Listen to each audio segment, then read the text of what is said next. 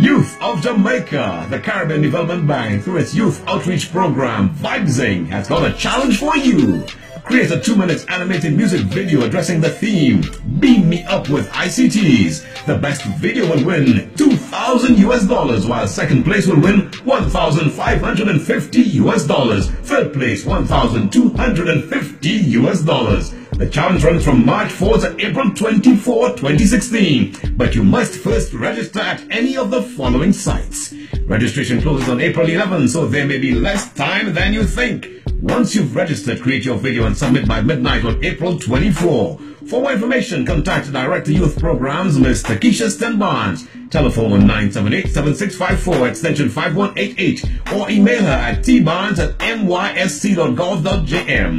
Beam me up with ICTs. Energizing